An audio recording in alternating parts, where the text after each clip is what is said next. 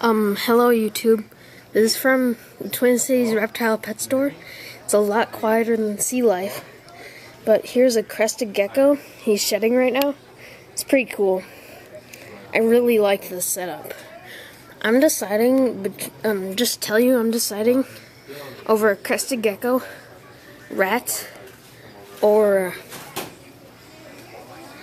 anything else basically that's cool and, and, stays small. Remember that. I need to keep it in a small cage.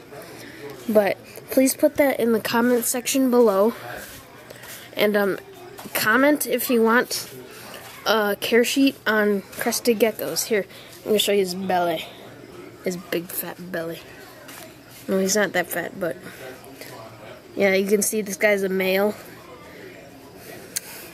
But there's his head right there. He's looking down.